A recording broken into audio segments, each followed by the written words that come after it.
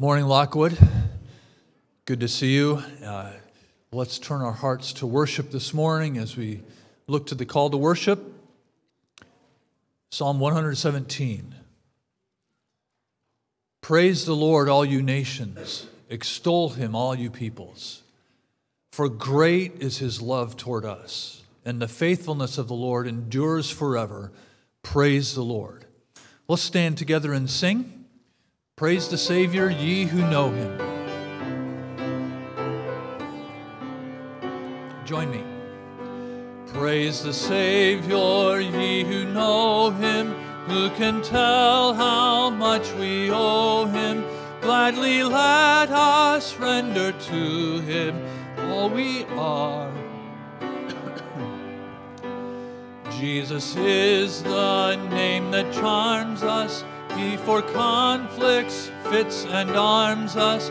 Nothing moves and nothing harms us while we trust in Him.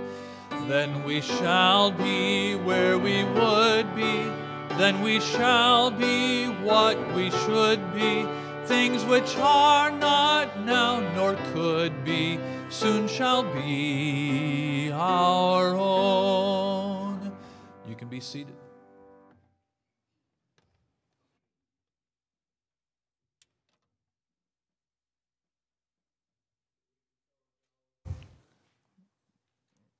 Let me turn my right on here.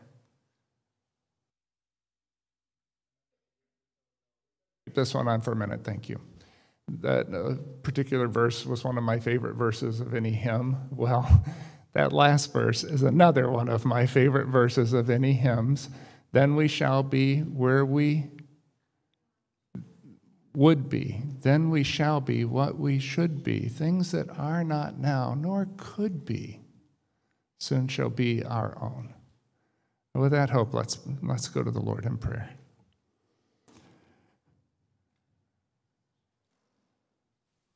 Lord, eye has not seen, nor ear heard, nor mind conceived what you have prepared for those who love you. Things that we cannot now know.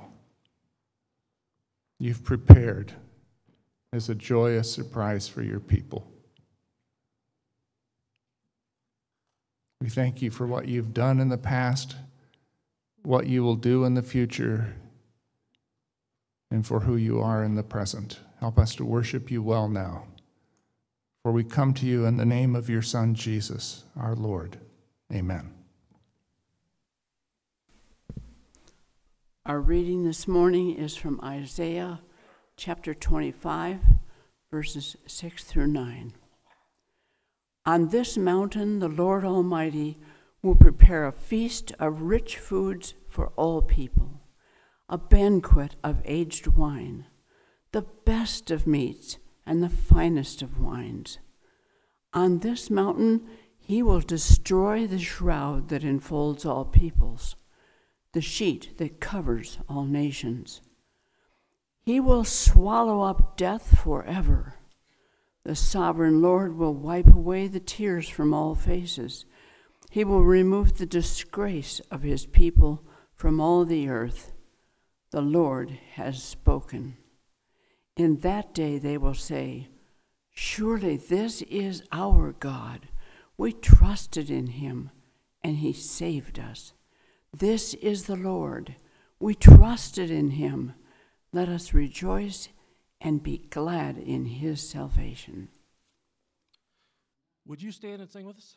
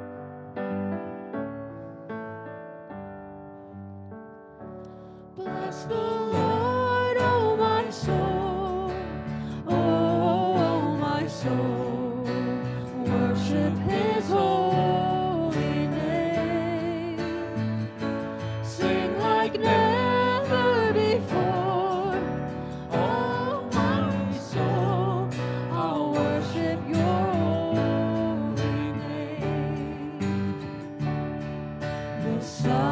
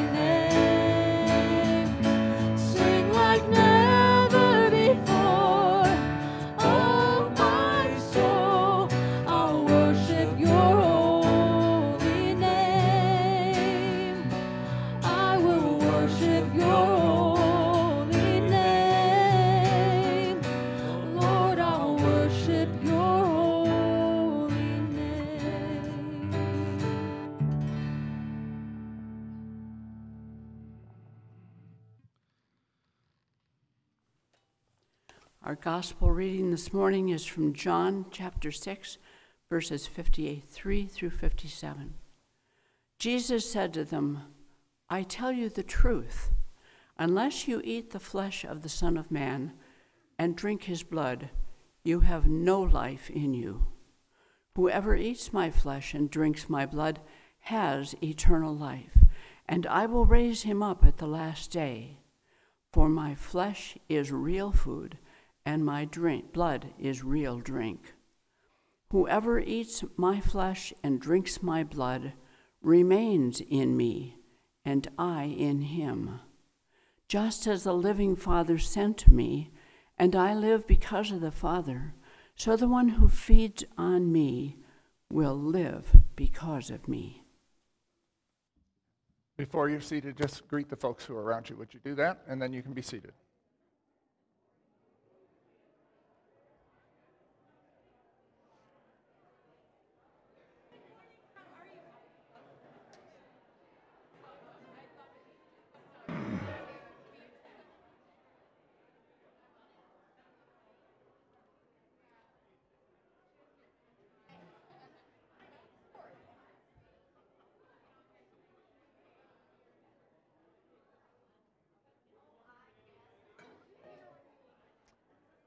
All right, if you'll go ahead and be seated. We're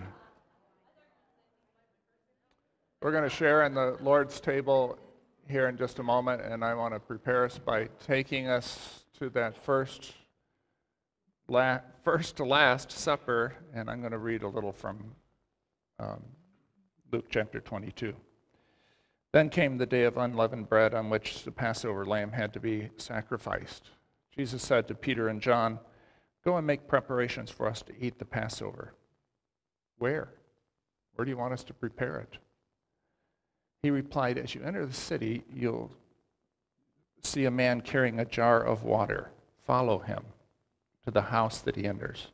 And say to the owner of the house, The teacher says, Where's the guest room where I may eat the Passover with my disciples? He'll show you a large upper room, all furnished. Make preparations there. When the hour came, Jesus and his apostles reclined at the table. He said, I have eagerly desired. That's a New International Version. It's hard to get the sense of it. I have longed for. I have, the word is the word that's usually translated lust. I've lusted. I have wanted so badly to eat this Passover with you. And then words that they didn't want to hear before I suffer. For I tell you, I will not eat it again until it finds fulfillment in the kingdom of God. After taking the cup, he gave thanks and said, Take this and divide it among you. For I'll tell you, I tell you, I'll not drink again of the fruit of the vine until the kingdom of God comes. So there were four cups in the Passover meal, four cups of wine. That doesn't mean every person drank four cups of wine. It means that they drank from a cup of wine and passed it to the next person, and they had a sip out of each cup. And he took bread, gave thanks, and broke it, and gave it to them, saying, This is my body given for you. Do this in remembrance of me. And the same way, after the supper, he took the cup, saying, This cup is the new covenant, the new covenant in my blood, which is poured out for you. But the hand of him who is going to betray me is with mine on the table. So the, path, uh, the disciples have come into Jerusalem. I want to help us be there. So I'm giving you a little background. Disciples have come with Jesus into Jerusalem on the previous Sunday. They've come to great crowds that are welcoming them. Galilean Passover uh, pilgrims who have arrived before they do, and they're lining the roads and they're crying out, Hosanna, which means save. Hosanna to the King of Israel. They're recognizing Jesus as their King, and the excitement is just almost overwhelming. It's Passover time, and on this evening, they prepare the Passover, Peter and John, for the rest of the apostles who meet at this secret location. Jesus has not told anyone where this is. Even Peter and John had to find it by finding a particular man and following him into the house he entered. So they come in on this very strange kind of Passover evening. And it begins in an odd way. As they sit down, Jesus gets up and he takes off his outer garment and he wraps a towel around himself. Now, for us, that may seem very odd. For them, it was a very common thing to see. He's doing what a slave would do. He's wrapping a long towel around his waist, and then he's going, pouring water out of a laver into a basin, and he carries that basin from person to person, and he washes their feet just like a slave. This is weird. So weird that St. Peter says, Lord, you're never going to wash my feet. To which Jesus says, If I don't wash you, you have no part in me. And Peter says, Then wash all of me. Jesus takes the traditional words of the Passover meal and he changes them in ways that are totally unexpected by the apostles. So he takes the bread and he breaks the loaf in front of them. So imagine this is not like one of our loaves of bread, which rises up because there's lots of yeast in it. This is bread without yeast or without leaven. And so it's flat bread. And he takes that bread up in front of them. It will be a loaf fairly round like this. And he holds it up and he says to them, This is my body. And he tears it.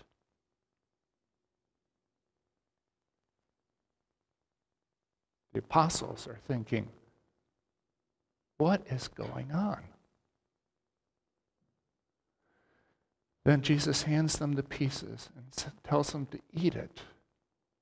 This is my body, which is for you. Take, eat, in remembrance of me. You're standing right here. What is this? And then later in the meal, when probably the third of the four cups was shared. The third cup was called the cup of blessing. St. Paul uses that language, which is why we think it was probably this cup. Jesus drinks from the cup, and he's holding up this red wine, and he says, This is my blood of the new covenant. Drink it, all of you. They're drinking the blood of the covenant. But this is the new covenant, the covenant that Jeremiah promised that God was going to bring, and Jesus is initiating. And they're in that room thinking that the revolution begins. Jesus has already said, I'll not eat of the fruit of the vine again, or eat of the eat this bread or drink the fruit of the, from the fruit of the vine again until it's fulfilled in the kingdom. So they're thinking next year. Next year, we do this in the kingdom of God. And then they eat the bread and they drink the cup, participating with Him in a way that transcends what they then understood, but would understand later. So, put yourself in that room. It's now evening time. The sun's lowered. There are candles lighted. It's a dark room. The candles are guttering. You can hear them from time to time as the flame flickers. Jesus has just washed your feet. You feel shamed that he took the place of a slave for you. And now he's inviting you to eat this bread, which he says is his body, which is for you, and drink this cup. We're going to do this as well. Not simply doing it with a memory of what happened, but entering into what happened, taking the place of those apostles, being at Jesus' feet, his people, ready to enter his kingdom. So I'm going to invite the men to come up and share this meal with us. I'll ask you to keep the communion elements until everyone has been served. You don't need to be a member at Lockwood Community Church to participate in this. It is important, though, that you have put your trust in Jesus Christ. You've given him your life. You're one of his people.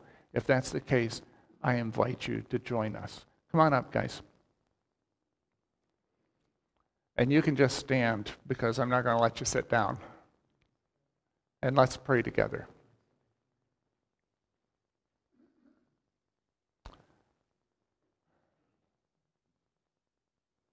Blessed are you, O God, who's given us bread to eat and this wine to drink. Blessed are you, O God.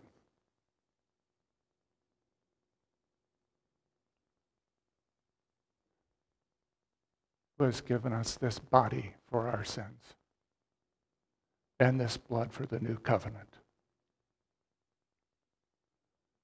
As we take it, we affirm that covenant and we say, We are your people by the grace of our Lord Jesus. Amen.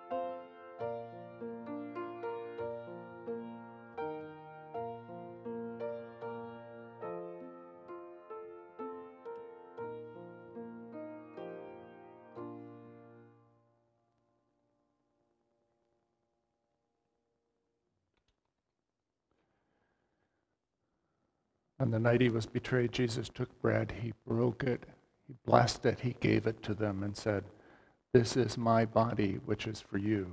Do this in remembrance of me.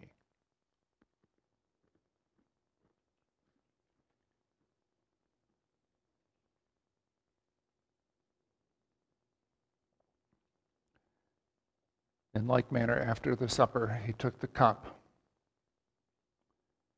and he drank from it and gave it to them, saying, This cup is the new covenant. In my blood, all of you drink it.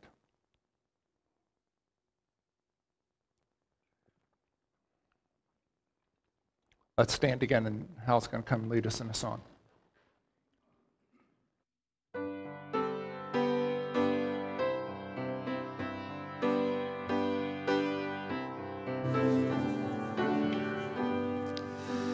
Tis so sweet to trust in Jesus, just to take him at his word.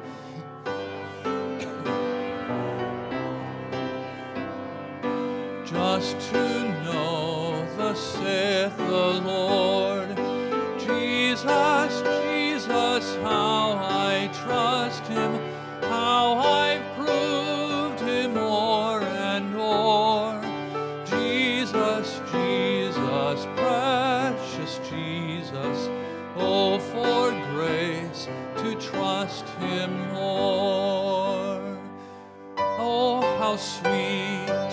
Trust in Jesus, just to trust his cleansing blood, just in simple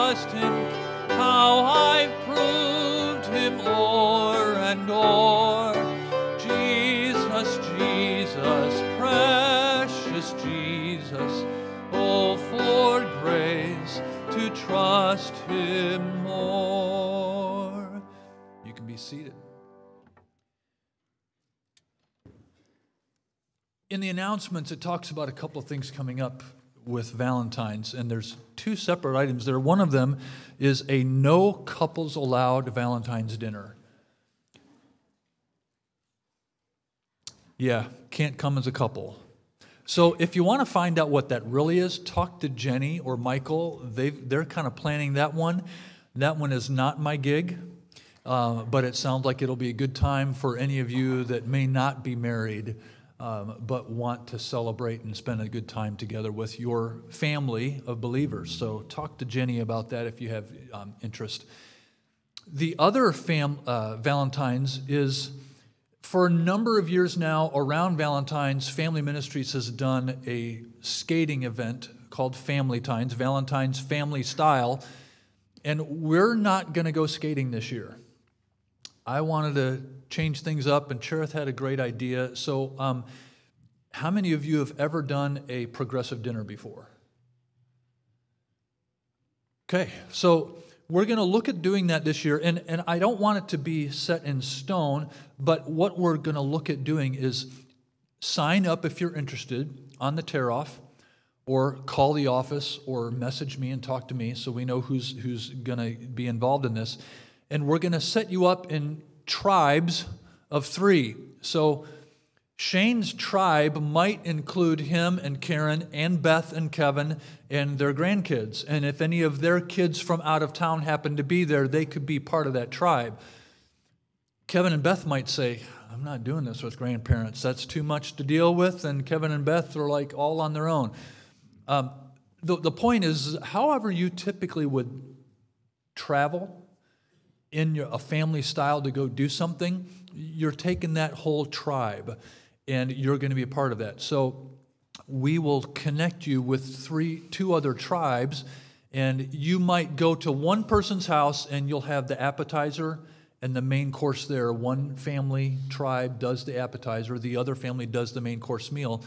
And then the third part of that tribe, tribal group, is going to come here, and you'll have the dessert prepared, and you'll come here. We're going to all come back together. And I won't tell you what they are now, but at each part of that meal, you're going to be doing and discussing something different that night. Okay? So it's a progressive meal. I don't care if you do it at one house or if you want to travel from one person's house to the next person's house and then come here. But that's what that was. And, and someone asked me, What in the world are you doing with that? So I thought maybe I should explain that a little bit. If you still have questions, see me afterwards and I'll be glad to explain it. But we're doing family times a little bit this different year. I hope you'll join us.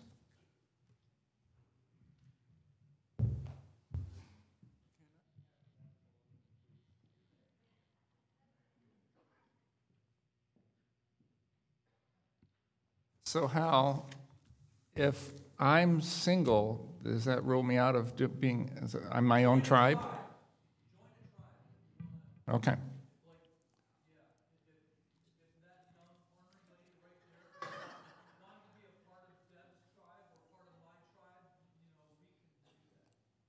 Okay. So, so would you pass the registers? You'll find them on that side of a row. If you're on that side, it'll be underneath the seat in front of you. Would you just pass those that way and back again? Sign them if you would. We'd appreciate that very much. Few thing, other things we need to mention in the bulletin. So the Winter Gospel Concert is coming up at Lockwood on February 18th, 5 to 7:30. Justified's going to be here along with Joe Renshaw, and uh, it'll be a good time. So invite you to be part of that. Uh, on the tear off page, would you just check those things? If you'd like to be on the ladies' Facebook page, you, know, you can sign up for that. We'll make sure you get on the ladies' Facebook page. If you would like to serve in the nursery, so there's always a need for people to serve in the nursery. If you can serve in the nursery, that would be fantastic, especially in second service when a lot of our, our younger parents are here. Um, would you let us know that? You, you saw the No Couples Allowed Valentine's Dinner, Hal mentioned that. You can sign up on that, Family Times, and if you're willing to set up or tear down for events and or snow removal, there's an announcement in the bulletin. If you can help us with that. So, for example, by events, we might have a funeral dinner, like we do this Wednesday. And you say, I could help with that. Um, if you're willing to do that when you're free, would you let us know by putting that on the tear off, putting it in the offering plate as it goes by? There's also a place there for prayer requests.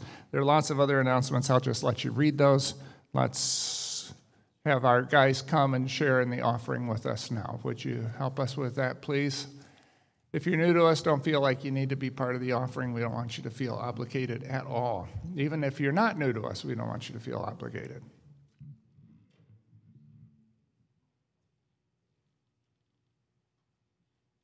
All right, let's pray together.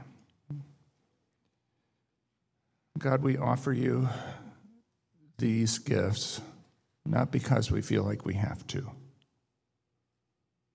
but because we want to use them as a way of saying, We're yours and we love you.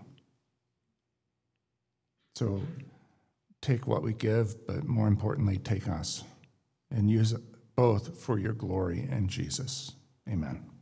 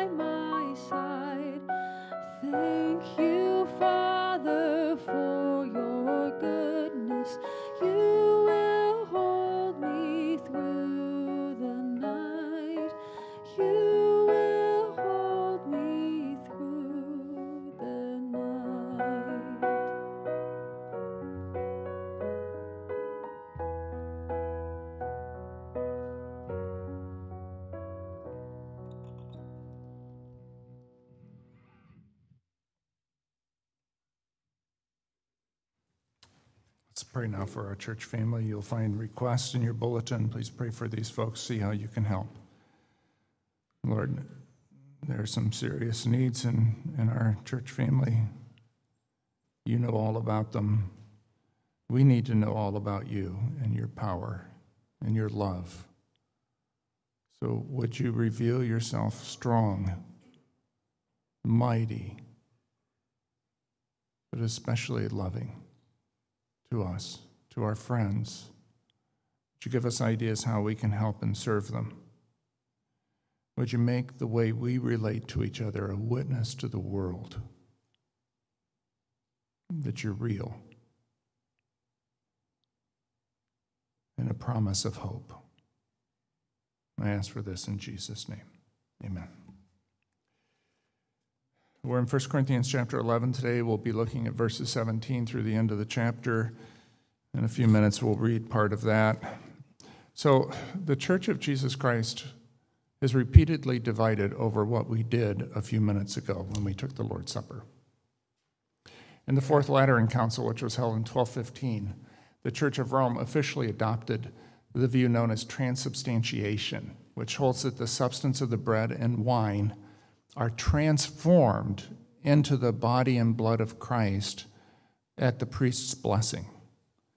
350 years later, at the Council of Trent, the church determined that the Eucharist, which is another name for the Lord's Supper, is propitiatory, which means that by taking the Eucharist, a person can turn away God's wrath. The monk and reformer Martin Luther rejected those views he believed in what he called the real presence in the, in the Lord's Supper. He taught his followers that Christ's body and blood are truly present in the bread and wine, but the bread and wine do not change substance to become body and blood. In 1529, he met with Ulrich Zwingli, the Swiss pastor, and they tried to bring the two branches of the newly minted Reform movement, the evangelicals of Germany, who would later be called Lutherans, and the Reformed churches in Switzerland together, but they failed. You know what tripped them up? The Lord's Supper. Protestants divided from Catholics over the communion table. And then Protestants divided from Protestants and continued to divide. Uh, did you know that America's, probably America's greatest theologian, Jonathan Edwards, was removed from his pulpit and fired because of his view that only church members should be allowed to take communion. In the last 20 years, controversies erupted again in the Catholic Church about who should be allowed to come to the table. How ironic that this table, which proclaims the unity of Christ's church, has been the cause of so much division, more division than in anything else that's ever happened in the church. But it's not ironic, I think, it's diabolic. And the table has not been the cause of division, I think it's been its occasion. There's a lot of confusion over the Lord's Supper. In many large American churches now, the churches are not taking communion ever when they're gathered all together. The process of serving thousands of people communion is unwieldy and time consuming. And besides that, these folks have done research with focus groups, and it doesn't fare well, the idea of taking communion. I want it to fare well here. It's important, it's beautiful. But I'm afraid that maybe some of us don't see it that way. And I'm afraid of that because there was a time when I didn't see it that way. After I became a Christian, I was hesitant to take communion. The preacher always warned us to examine ourselves, which is entirely biblical but he never told us what to look for in that examination. However, he did make the consequences of a slipshod examination perfectly clear. Unless one discerned the Lord's body, and who on earth knows what that means? Unless one discerned the Lord's body, he would eat and drink, this is the King James Version, damnation unto himself. So I examined myself for sins, which were about as hard to find as snowflakes in a blizzard, and tried to feel sufficiently sorry for them before I took communion. But I never knew if I succeeded. Did I feel sufficiently sorry? So I couldn't be sure whether I or not I was eating and drinking damnation. Whatever else the Lord's Supper was, it was not encouraging to me. There were things that taking the Lord's Supper should have done that it did not do, at least for me, though I think that was true for others as well. Instead of uniting me to other Christians, it isolated me from them in an introspective bubble. Instead of helping me to look to Christ and remember Him, it led me to look at my sins and remember them. I was focused on my sins, not my Savior. Instead of evoking wonder and worship, the Lord's Supper evoked discomfort and dread. I think this happened for a couple of reasons one having to do with my failure, and the other with the church's. The Lord's Supper didn't bless me because I was often not in a place where I could be blessed. Christ was not my life, but only my ticket to the afterlife. I didn't love, as St. Paul did, the idea of pleasing him, only feared the trouble that would come from displeasing him. I thought, at least when it was time to take communion, about losing my salvation but not about living my salvation. How could someone like that be blessed at the communion table? But the church failed too, and I think it failed in this. It lifted this, the scripture about examining oneself out of its context and repurposed it to evoke guilt with a view to making us do better next time. I don't blame the pastor for that. He didn't know any better. He was just doing what he'd seen done.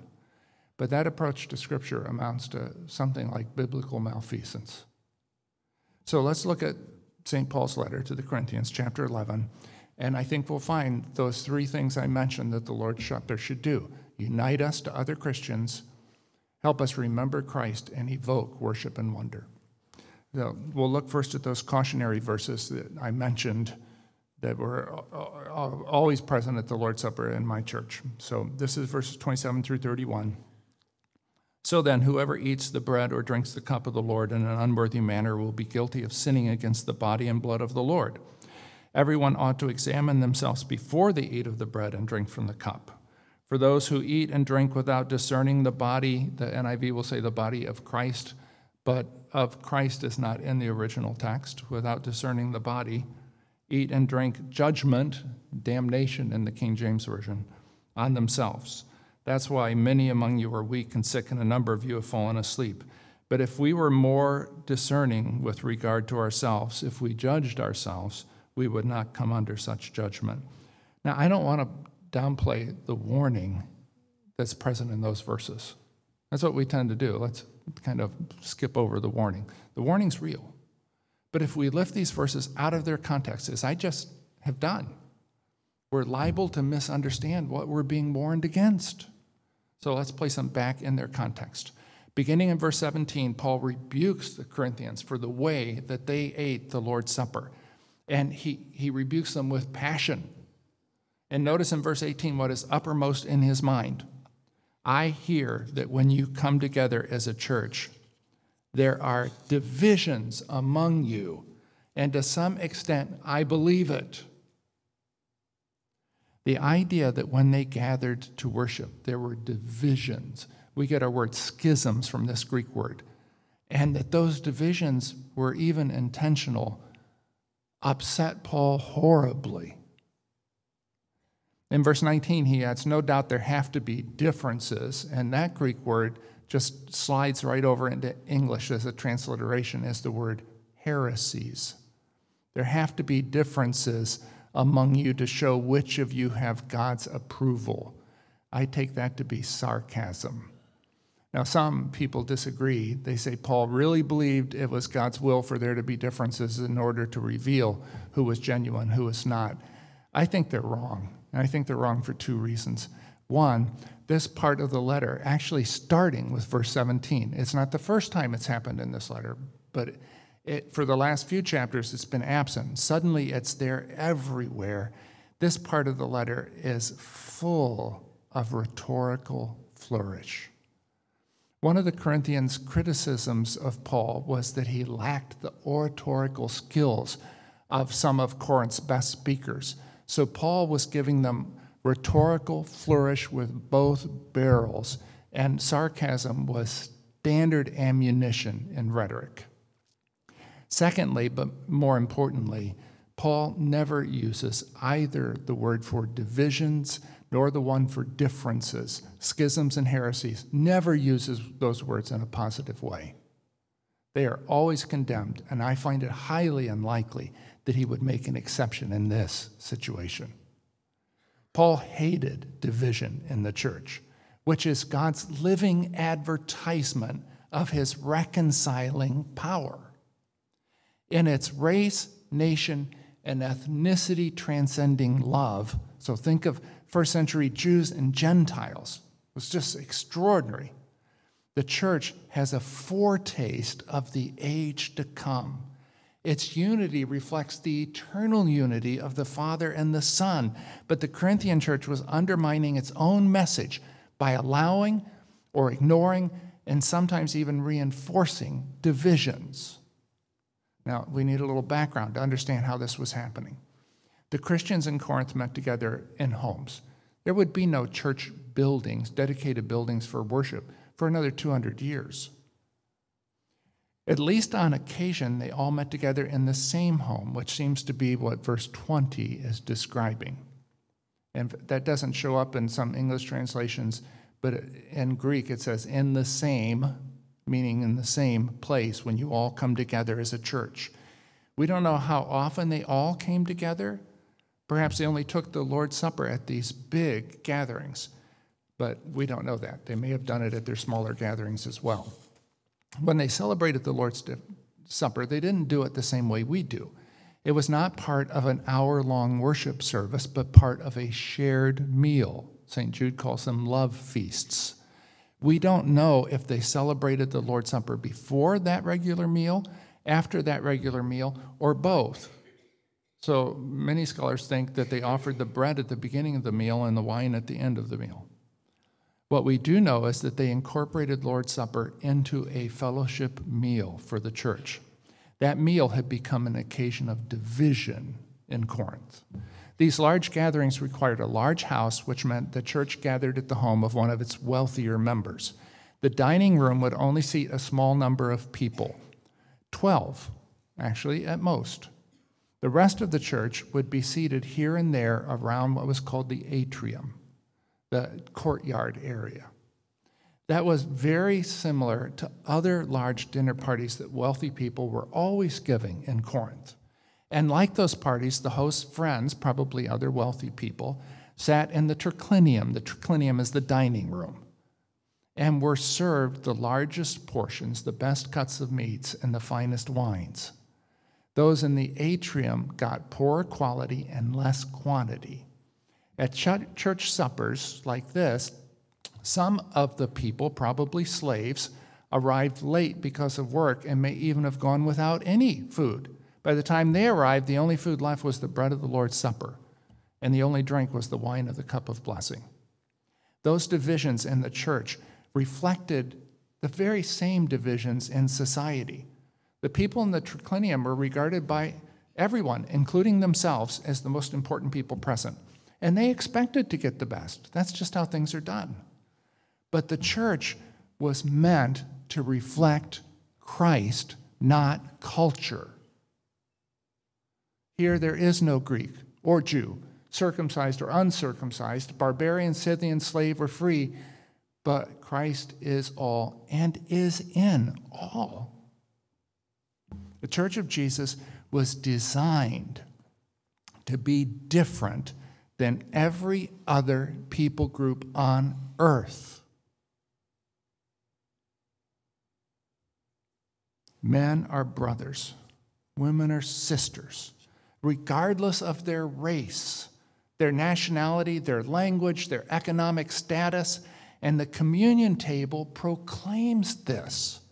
Paul had just written in chapter 10, a few verses earlier, that because there is one loaf at the communion table, we who are many are one body, for we all partake of one loaf. The Corinthian behavior at the Lord's Supper contradicted their own proclamation.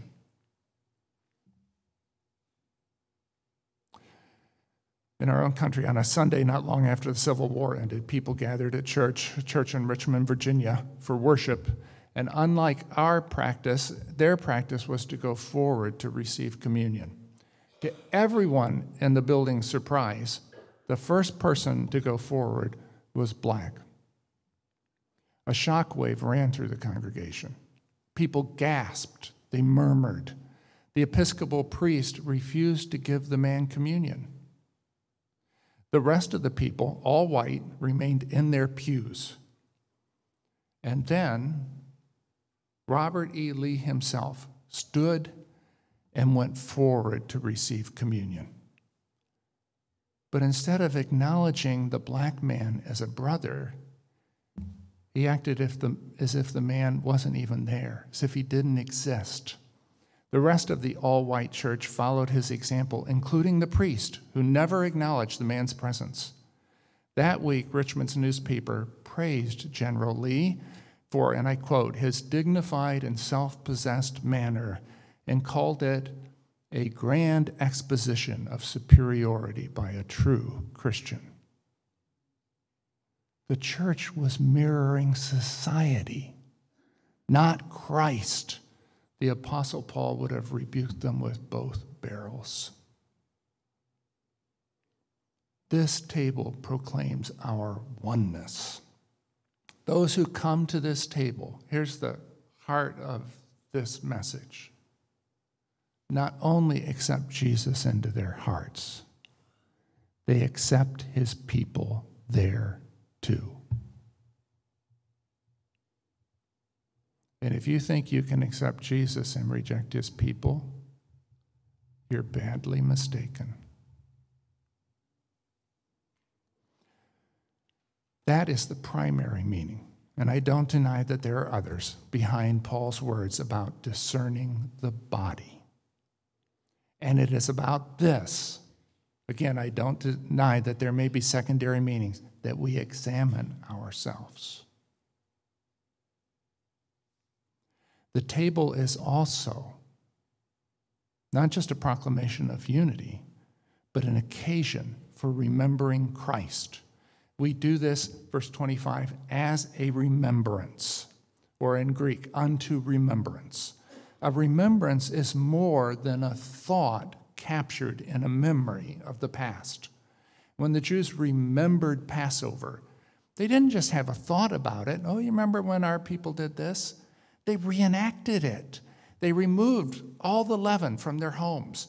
They made and ate the very same meal that their ancestors made and ate on that Passover evening. When they remembered the Lord's faithfulness during their wilderness wanderings, they built lean tos and they lived in them outdoors for a week, just as their ancestors had done in the wilderness. They didn't just remember with their heads, but with their hands and with their bodies. When we remember Jesus and what he did for us, we remember not just with words, but with actions, with our hands and our mouths. We reenact the covenant meal Jesus and his disciples ate. When the Jews reenacted Passover, they were taking their place as God's covenant people. When we take the Lord's Supper, we are taking our place as God's new covenant people. The supper is not just a ritual, it's a reminder. It's, it's not just a custom, it's a commitment, a reaffirmation of the choice we made to be in covenant with God Almighty, and more importantly, the choice and sacrifice He made to be in covenant with us. By taking the Lord's Supper, we identify as sharers in Christ's covenant making sacrifice. When we come to this table, we step into the past. Or perhaps we bring the past into the present. Here we are with Christ. We share in his death. We affirm our place in the covenant of blood. We say afresh, because of God's grace, I am Christ's and I am all in, so help me God. That's what we do when we come to this table.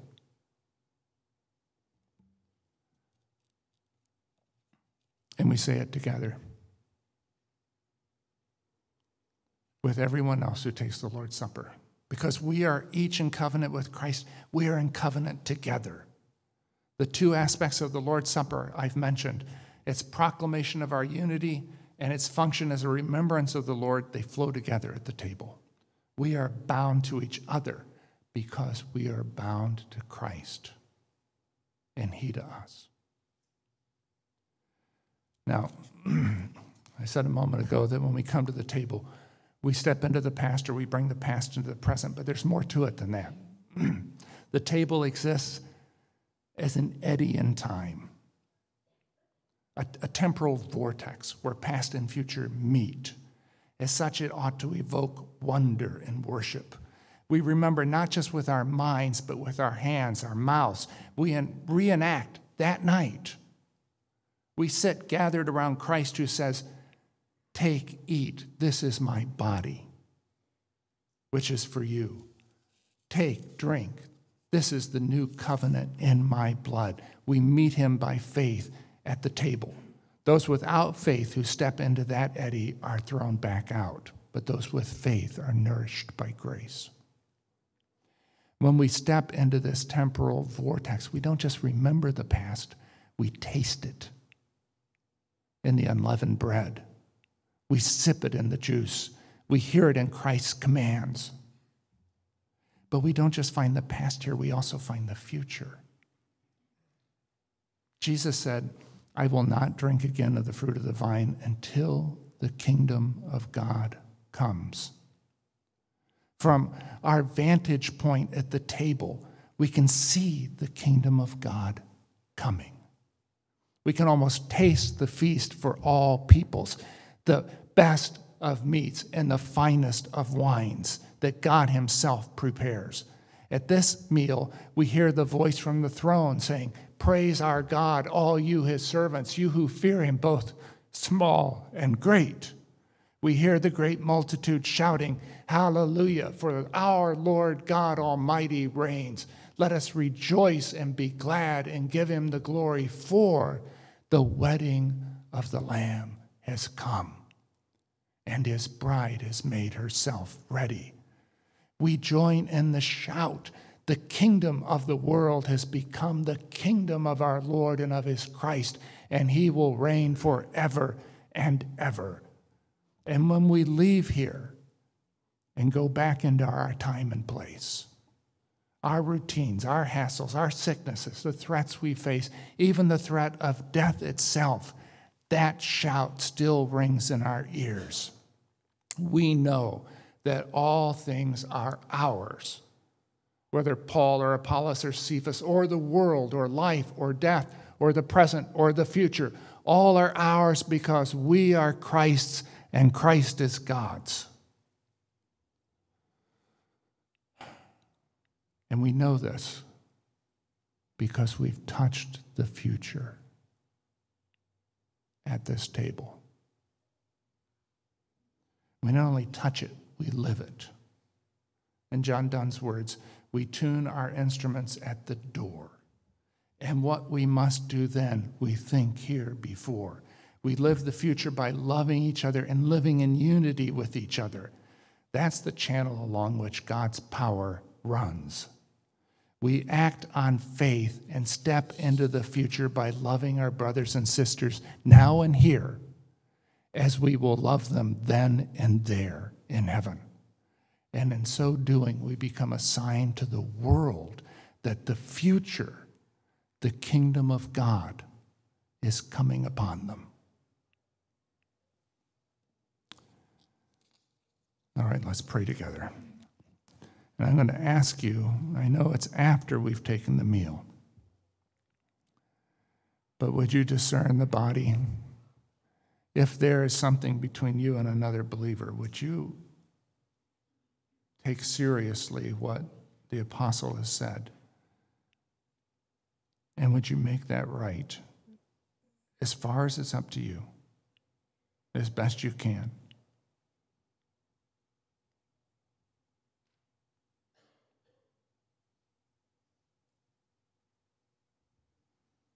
Lord, where there's a lack of love, show us.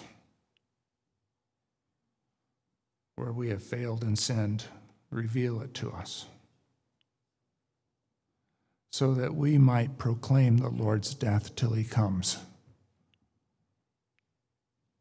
So that we might be an advertisement for the reconciling power of God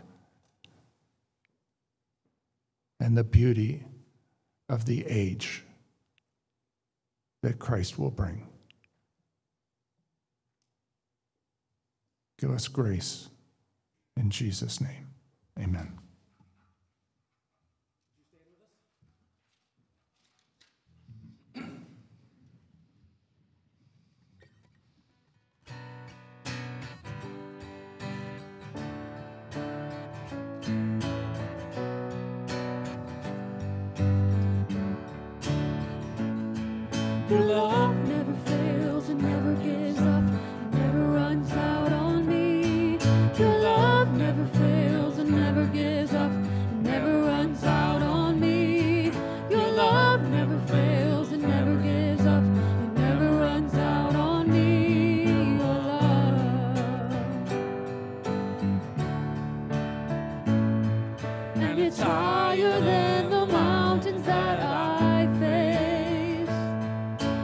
stronger than the power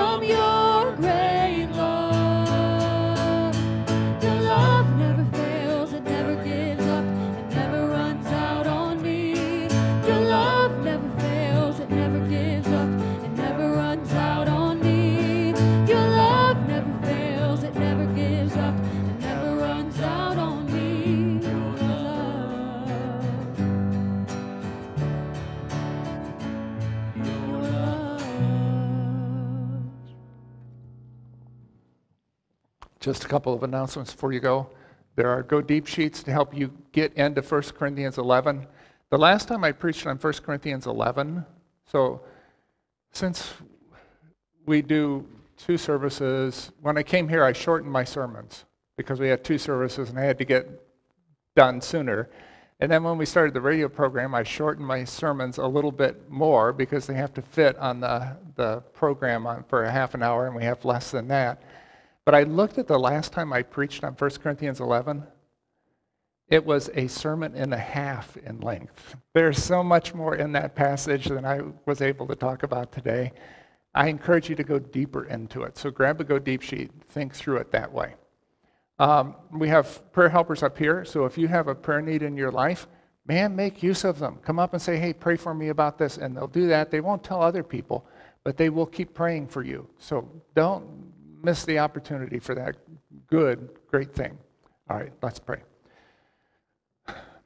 Lord, send us out as good advertising this week in what we say and do, and even when it's hard, when we take a stand for your namesake. Help us to be loving throughout, full of grace, and reflecting you. For this, we need your help, and we pray for it. In the name of our Lord, your Son, Jesus Christ. And now, the grace of our Lord Jesus Christ, the love of God, and the fellowship of the Spirit be with us now and forevermore. Amen.